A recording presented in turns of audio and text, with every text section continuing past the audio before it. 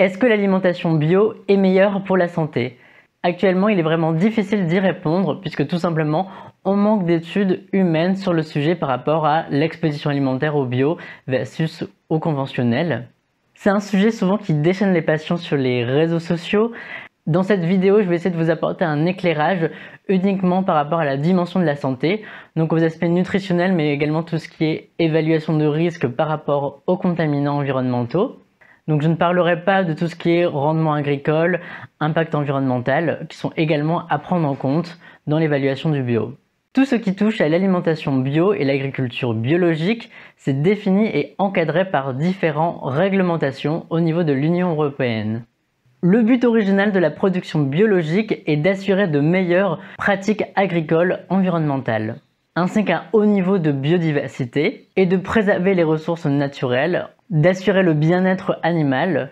Donc par exemple dans l'agriculture biologique, l'utilisation d'antibiotiques à titre préventif ou prophylactique est interdit. On peut uniquement utiliser des antibiotiques à titre curatif alors que dans l'agriculture conventionnelle, on peut plus largement utiliser des antibiotiques. On va également essayer de favoriser les circuits courts. Les principales mesures réglementaires par rapport à l'agriculture bio sont l'interdiction de l'utilisation de substances synthétiques, donc tout ce qui est pesticides, herbicides de synthèse, alors que dans l'agriculture conventionnelle, on a plus de 400 substances actives qui sont autorisées. Les OGM et l'utilisation de traitements euh, ionisants sont interdits. Les OGM, c'est un traitement à base de radiation, sont interdits dans l'agriculture biologique et on a en fait tout simplement une liste restreinte positive de substances autorisées dans l'agriculture bio. Donc par exemple, on peut retrouver le cuivre, les pyrétrines, des pesticides qui sont entre guillemets euh, naturels, qui sont autorisés dans l'agriculture biologique. Dans l'agriculture biologique, vous avez par exemple les pyrétrines qui sont autorisées, ce sont des insecticides naturels extraits de fleurs de chrysanthème. Donc elles ont une structure chimique très proche des pyrétrinoïdes qui elles sont des molécules de synthèse, également des insecticides. Donc les pyrétrinoïdes et pyrétrines vont interférer sur le système nerveux des insectes pour les éliminer. Dans l'agriculture biologique, il y a également un autre fongicide naturel qui fait polémique, c'est tout ce qui touche au cuivre et aux dérivés du cuivre, comme la bouillie bordelaise. Donc le cuivre, c'est un métal lourd et toxique, donc qui reste assez longtemps dans les sols. L'EFSA s'inquiétait également de l'écotoxicité du cuivre par rapport aux organismes marins ainsi qu'aux oiseaux. Donc par exemple, le cuivre peut être utilisé pour lutter contre le mildiou dans les vignes ou la tavelure chez les pommiers. Il est bien d'avoir en tête que pesticide naturel ne veut pas forcément dire sans risque pour la santé ni pour l'environnement. En fait, la toxicité des molécules ne reposent pas sur leur source, leur origine, qu'elle soit naturelle ou synthétique, mais uniquement sur leur structure chimique. En juin 2012, les États-Unis et l'Union européenne ont signé un accord de commerce sur l'échange de produits biologiques entre ces deux régions, et on a donc une équivalence entre ces deux labels. Aux États-Unis, c'est le logo USDA Organic qui est encadré par le National Organic Program. Donc quand on compare la réglementation euh, des États-Unis et de l'Union européenne, on a des petites différences par rapport à l'utilisation des antibiotiques. Par exemple, la réglementation américaine autorise l'utilisation de streptomycine et de tétracycline pour lutter contre les infections bactériennes invasives chez les pommiers ou les poiriers, alors qu'en Europe, c'est interdit. A l'inverse, en Europe, on peut utiliser les antibiotiques à titre curatif dans l'élevage bio, alors qu'aux États-Unis, l'utilisation d'antibiotiques est complètement interdite, y compris euh, en termes curatifs. La réglementation des États-Unis n'écrit rien également par rapport euh, à tout ce qui touche au bien-être animal, alors que dans le règlement de l'Union européenne, c'est écrit euh, dedans. Donc c'est un peu moins strict par rapport à ce point-là, mais sinon c'est assez similaire en termes d'interdiction de molécules et de substances synthétiques. Maintenant, je vais vous parler de nutrition. Donc, certaines études ont comparé la qualité nutritionnelle de produits bio versus des produits d'agriculture conventionnelle. Voici un tableau qui synthétise différentes revues systématiques de la littérature. Donc, un résultat qui revenait souvent, c'était que les produits d'origine animale bio étaient un tout petit peu plus riches en oméga 3. Pour le lait, on avait une différence médiane de 0,5 g d'oméga 3 pour 100 g de lait. Pour le poulet, on avait une différence de 2 grammes. Donc on voit qu'en termes de différence nutritionnelle, c'est pas énorme pour les oméga 3 et il est assez peu probable que cette faible différence ait un bénéfice clinique en fait. Cette différence en oméga 3 est peut-être due à la différence d'alimentation chez les animaux qui dans l'agriculture bio sont principalement nourris avec du pâturage frais. Pour les autres nutriments, donc tout ce qui est euh, glucides, protéines, on n'avait pas vraiment de différence euh, significative entre l'agriculture bio versus l'agriculture conventionnelle.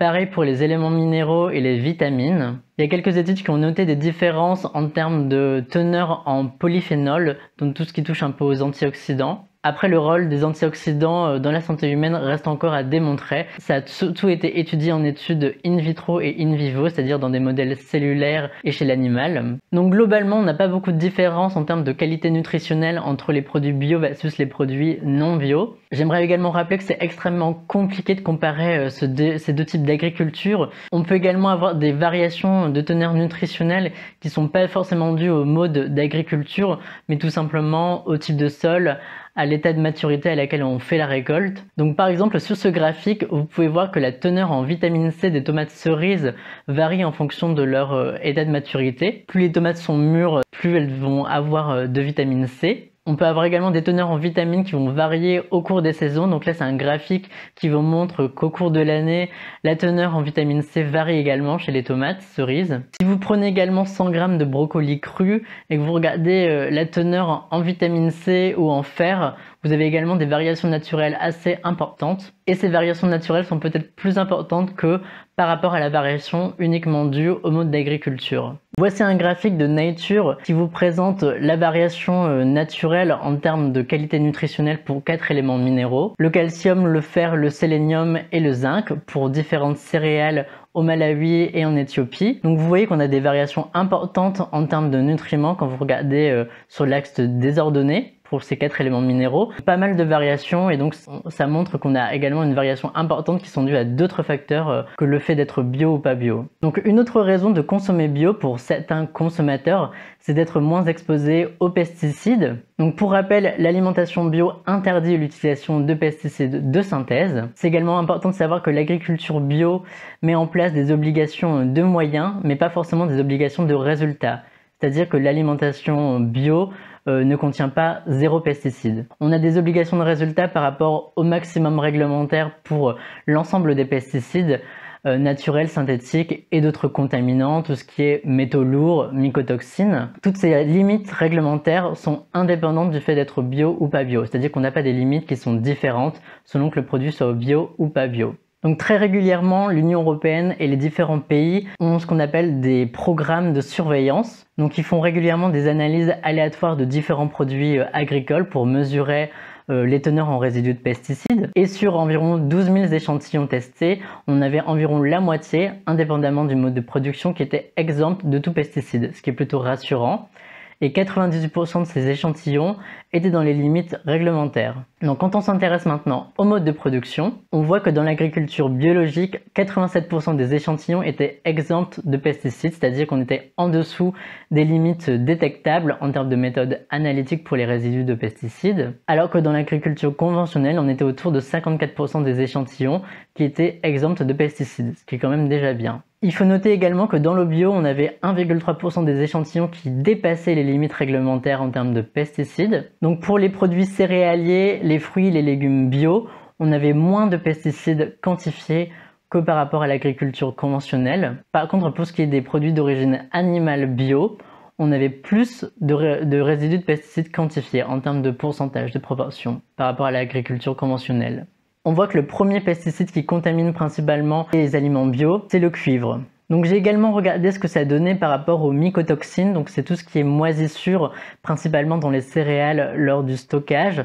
Donc l'autorité européenne de sécurité alimentaire, l'EFSA, disait qu'il n'était pas possible de conclure entre un lien entre le bio et le fait qu'il y ait plus ou moins euh, de mycotoxines. Donc il y a uniquement pour les toxines T2 et HT2 où on avait un tout petit peu moins de toxines euh, dans le bio que dans le conventionnel. Mais pour le reste, c'était pas possible de conclure parce qu'on n'avait pas assez de données. Il y avait également une revue de la littérature qui mentionnait qu'on avait moins de bactéries résistantes dans l'agriculture bio par rapport à l'agriculture euh, conventionnelle. C'est peut-être lié au fait qu'on utilise un peu moins d'antibiotiques. Une autre enquête se basant sur un programme de surveillance d'antibiorésistance aux États-Unis pour les produits à base de viande et la viande a retrouvé des résultats similaires ils ont mesuré le nombre d'échantillons entre 2012 et 2017 qui étaient contaminés par des bactéries multirésistantes. La production bio avait moins de contamination bactériologique, y compris pour les bactéries multirésistantes, que la production conventionnelle. Il y a d'autres contaminants environnementaux qui sont également intéressants euh, à être étudiés et un peu moins connus du grand public. C'est tout ce qui est polluants organiques persistants, donc appelés les POPs. Donc c'est des contaminants environnementaux qui peuvent migrer sur de grandes distances. Ils sont également extrêmement persistants, c'est-à-dire qu'ils restent très longtemps dans l'environnement parce que ce sont des composés euh, lipophiles et qui résistent très fortement à la dégradation thermique ou microbienne. C'est également des composés qui sont toxiques pour l'homme et l'environnement. Donc à titre d'exemple, on peut avoir les dioxines et les polychlorobiphényles, les PCB. on peut également retrouver les HAP, les hydrocarbures aromatiques polycycliques. C'est des composés qui sont créés lors de combustion euh, industrielle, donc qui sont ensuite émis dans l'atmosphère et qui vont retomber euh, dans l'environnement et ces composés peuvent se bioaccumuler au cours de la chaîne alimentaire. Donc c'est un peu ce qu'on voit sur ce graphique-là, où on a les PCB qui vont retomber euh, dans les cours d'eau. On voit que ça va s'accumuler euh, dans le plancton, dans les petits poissons, et après dans les plus gros euh, poissons et plus gros mammifères, et ensuite ça arrivera dans notre assiette. Donc c'est un peu ce qui est représenté par ce graphique qui représente une relation quasiment log linéaire entre les niveaux de contamination en PCB 153 et les différentes espèces trophiques. Donc on voit qu'on en retrouve également dans le lait maternel par exemple du PCB 153. C'est vraiment des contaminants qui sont euh, ubiquitaires. Et donc je me suis intéressé à ce type de contaminants par rapport au bio versus non bio. Donc là je prends l'exemple des dioxines et des polychlorobiphényles. Donc par exemple dans le saumon, on voit que les saumons bio ou les saumons sauvages sont plus contaminés en dioxines et PCB que les saumons euh, non bio. Pour les œufs, on a un peu moins de, différence.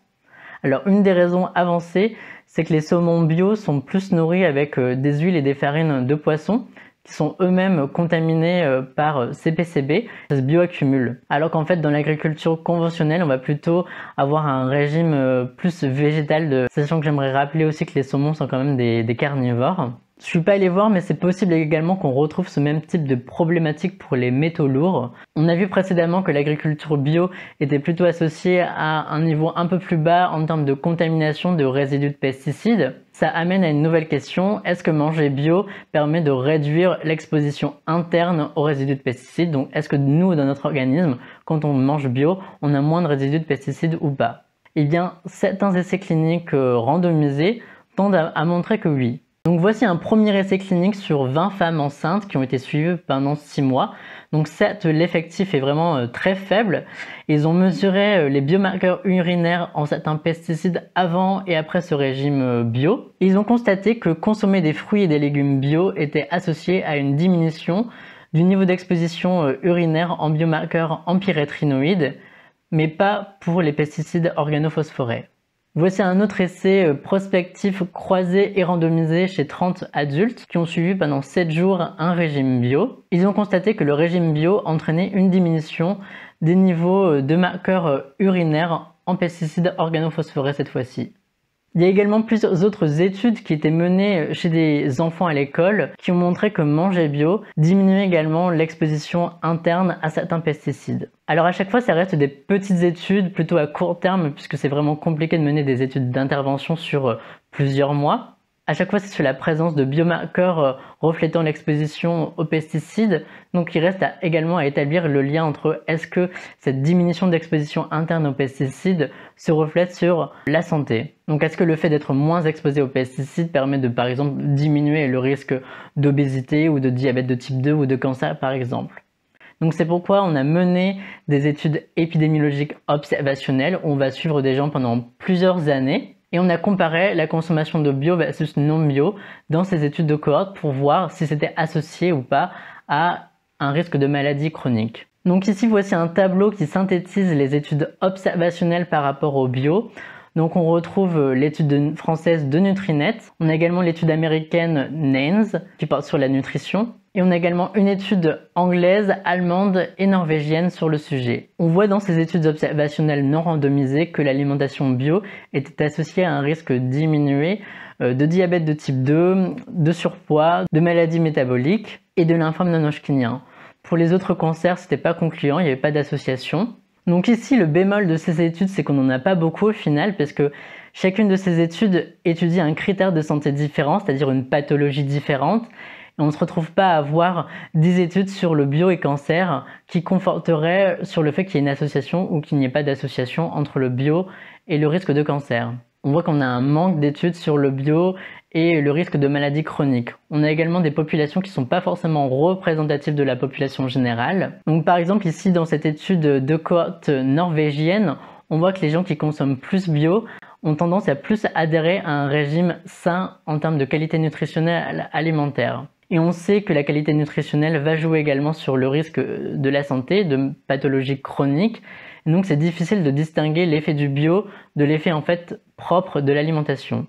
On retrouve la même chose dans la cohorte Nutrinet, qui est également une cohorte de volontaires. Les gens qui consomment plus de bio sont également ceux qui ont des revenus plus élevés, un niveau d'éducation un peu plus élevé, ils fument un peu moins, ils font un peu plus d'activité physique, ils ont des apports plus élevés en fibres et plus faibles en charcuterie. Donc tous ces facteurs jouent également sur, euh, par exemple, le risque de cancer. Donc c'est difficile de distinguer l'effet du bio de ces autres facteurs. Donc c'est pourquoi dans ces études épidémiologiques, quand on étudie l'association entre le bio et un critère de santé, on va passer par ce qu'on appelle des modèles de régression multivariés. Donc multivariés parce que ça prend en compte plusieurs variables. Ça permettra justement de prendre en compte ces différences de niveau socio-économique, d'activité physique, de fumeur ou de régime dans les modèles statistiques.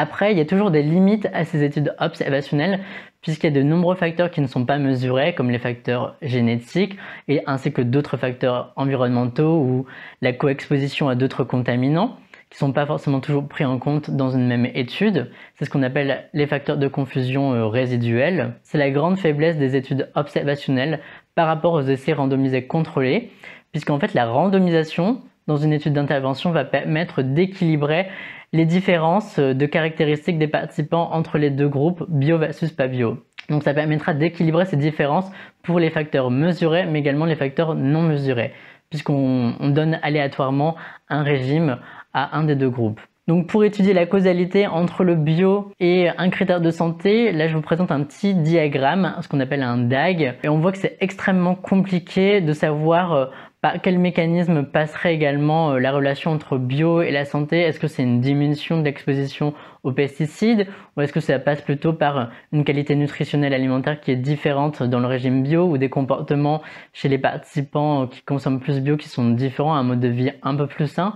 Donc on voit que c'est vraiment compliqué. On voit par exemple que l'éducation c'est un facteur de confusion parce que plus on est éduqué, plus on a de chances de consommer bio. On a déjà vu des associations entre les deux. Et on sait que le niveau d'éducation est également associé euh, au risque de maladies chroniques. Donc ça, c'est vraiment un facteur de confusion. Donc en conclusion, manger bio permet probablement d'être un peu moins exposé aux pesticides de synthèse, puisque quand on regarde les données de contamination euh, d'occurrence, on a un peu moins de résidus quantifiés dans l'agriculture biologique. On a également quelques essais randomisés contrôlés qui ont l'air de montrer qu'on a un peu moins de biomarqueurs euh, urinaires, donc qui attestent de l'exposition aux pesticides dans le cas d'un régime bio. Mais tout ça, ça reste des études assez préliminaires, on n'en a pas beaucoup non plus.